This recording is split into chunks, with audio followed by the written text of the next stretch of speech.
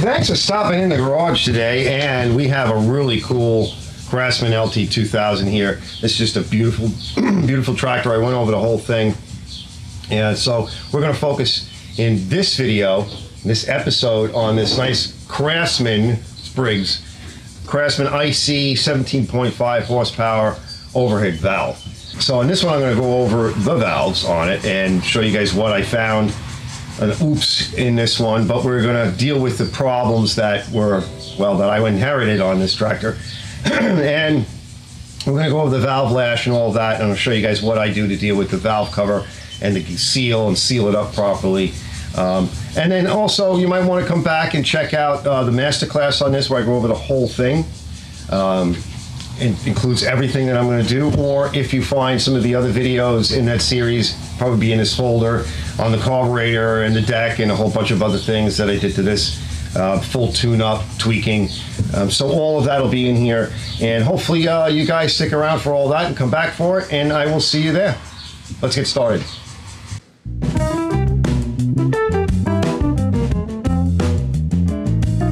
These bolts were really tight, and oh, one of them was red.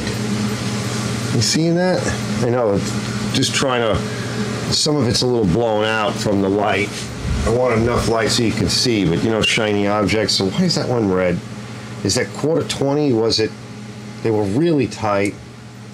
And I just gave this a little chick with my screwdriver. Oh, yeah. Okay. For sure. Right? Somebody. This might be what's leaking. And look. Oh. Hold on. I'm getting all. All right. I got to get to this now. So, all that gook in there. Anyway, we're going to clean this out. Here's the mistake people make with these things. Um, that, that gasket did nothing, right? Except go inside the motor like the other one.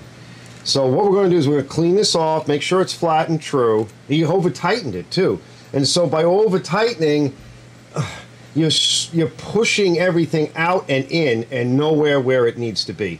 So first step is we're going to clean all this off, get all this gook off, clean it off good, no grease on it, no remnants.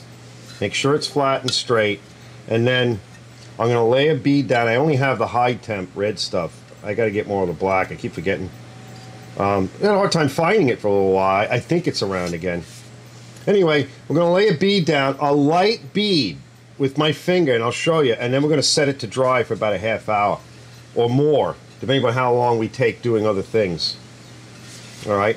It's got to skin.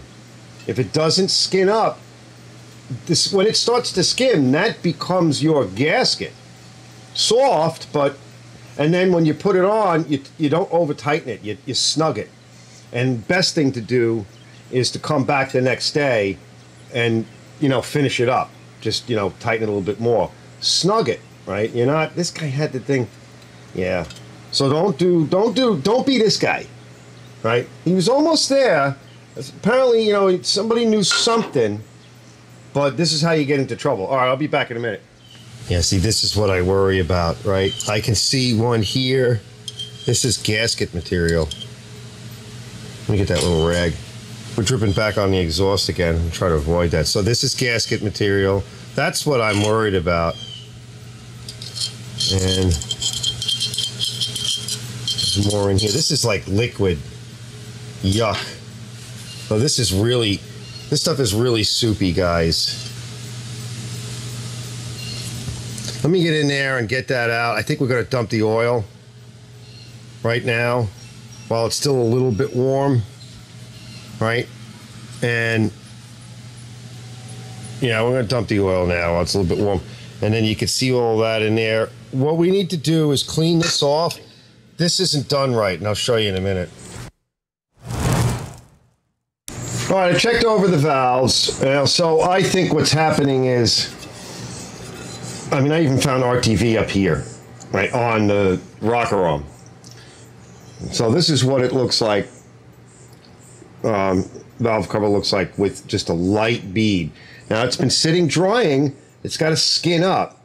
And without that skin, it's that skin. Like you could put this, you could never really get a good successful seal by putting RTV on, putting this cover on, and then over tight, you know, slamming the bolts down. That's never going to work. So what I do is I get, like I said, I get everything clean, super, super clean, and I lay a nice bead on with my finger. If you see any area that looks a little translucent, like like you can see a spot where like the cover is come showing through, a little bit more on, get a nice even coat, put it aside for about a half hour. Today it's really warm, it's really hot day and dry. So this did not take long. We're gonna put this on a little bit. Now I went over everything on here, okay? I, the camera wasn't on for some reason. Because I got a lot of interruptions today and, uh, and I'm going over so much on the machine. So now we're just gonna look at the valves. So I often say you wanna, if you're gonna be doing valves on an engine, there's gotta be a reason for it. Why would you, you wouldn't just do it. It's a lot of work to do. So you would wanna do it um, like for me here, I you know, picked this thing up. It's an unknown. Uh, it's a number of years old, and I want to go through the motor. It's, it was burning oil, probably leaking from that poor seal here.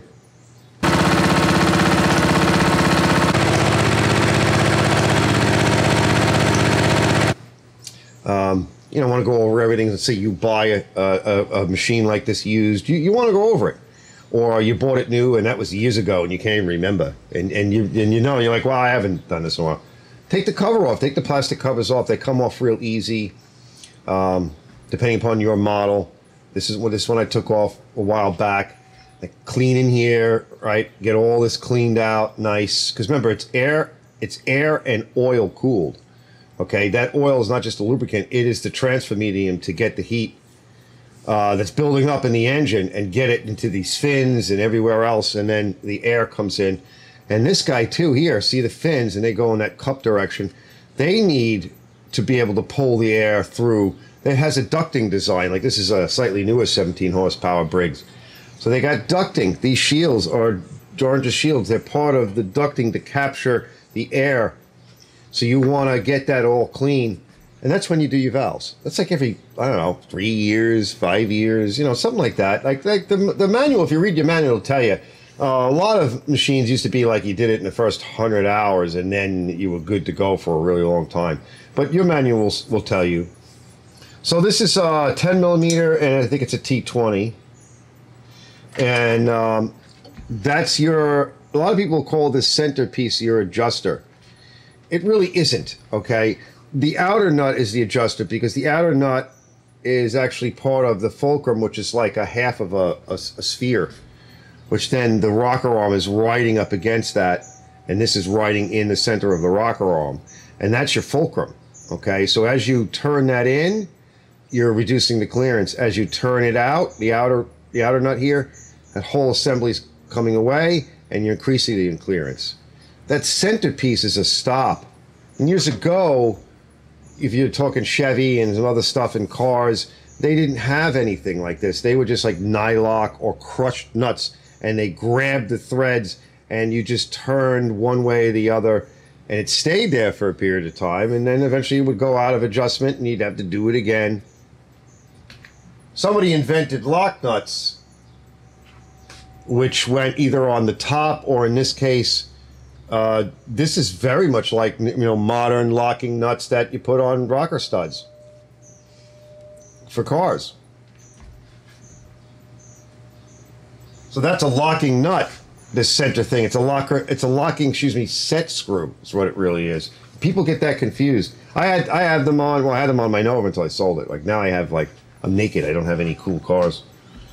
So let's let's just check it out. So 18 is like the max. All right, so let me back up. It's going to go. It's it's point oh oh eight thousandths. Right, so it's eight thousandths for the intake, and thirteen thousandths for the exhaust. All right, and I'm going to read you out the metric equivalents in a minute. So here's your intake coming down, and it actually comes down to here, this lower rocker arm, and here's your exhaust, and it comes straight out of this valve. So we're gonna turn the motor over. Now I've got it set to TDC right now. So we have our magnetron here, and we got our our uh, magnet, okay, centered, be, you know, be, between the two poles of the magnetron. That's another nice thing about having the covers off because you just take the plug out and you can turn over by hand. Right? None of this chicken over or sticking pencils in there. You don't need any of that. You don't need to do that. So let's just turn the thing around and watch the event. So we're going to turn it clockwise and you can see the cupping, right, of the fins. So it's going to grab the air and pull it around. All right, here we go. Now what we should see is an exhaust event. There it goes. Right, because it just fired. All right, it's going to get rid of those gases. Here comes an intake charge. Here's your intake. So it's sucking in fresh fuel mixture. Now it's going to come up and start to compress it and get ready to fire it. And I see my magnet. My magnet is over here. And we're going to bring that magnet up right here. Right in the center. So right here. All right, so let's take our 8 thousandths, and it's 8 thousandths or 0.203 millimeters, and shove it. So this is our exhaust, this is our intake. All right, that feels good. Maybe a little bit loose, could be a little bit tighter. We can go from 8 to 13. I think we'll tighten this one up a little bit. And let's go, I got, I brought this one in, this is 13 to 18 on the exhaust, so I brought it to like 14. Just to kind of like bring it in the middle. So we'll stick our 14. Yeah, it feels nice and tight, it feels good. All right, so we're gonna do the same thing. So to get to eight, I like to be a little tight, so I'm gonna go to seven. I like a tight. I like it a little tight. Oh, oh. so I'm going to grab a seven. And a lot of this is feel. That's why you have so much of a. It doesn't feel too bad. So what we're going to do is we're going to loosen up this whole assembly. Now you cannot turn out this lock nut. You're not going to be able to do it right? It's locked in there. It's jammed. It's a jam nut. Don't try it because you'll break it. So turn the outer nut, loosen it up, lefty-loosey. Now we want to bring it in a little bit. So I want to reduce the clearance. To do that, I want to be able to drive that outer nut, the fulcrum, in a little bit more than it was. And if I were to just turn it back the same way, you know, to tighten it right now, it would wind up pretty much back where it was. So to make it go in a little bit more, we need to turn this locking nut out just a see here, like that. And then bring the whole assembly back in. And let's test it.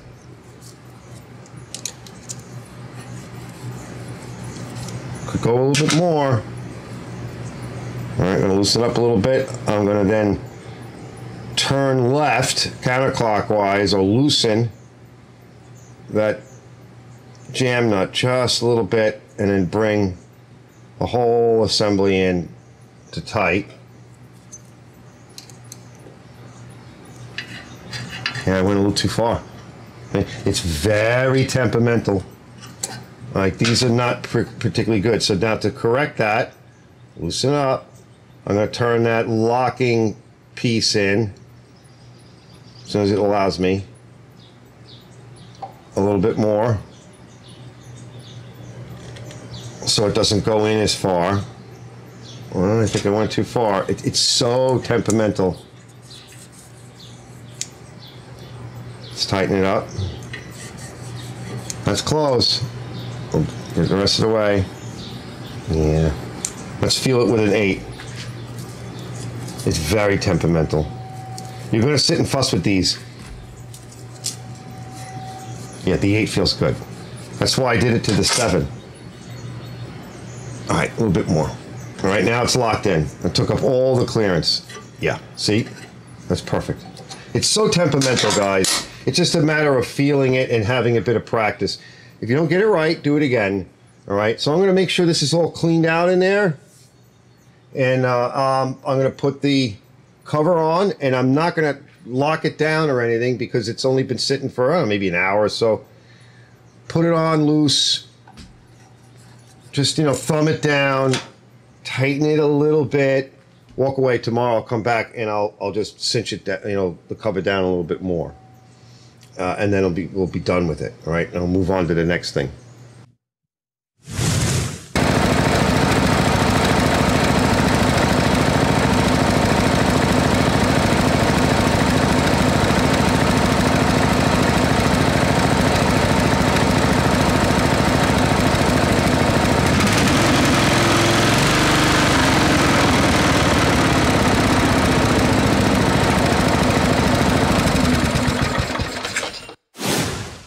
I'll see you guys in the next one. Thanks for stopping in Arch's Garage. Don't forget to hit the like and subscribe button, guys. Please, uh, you know, it's we're building a channel together.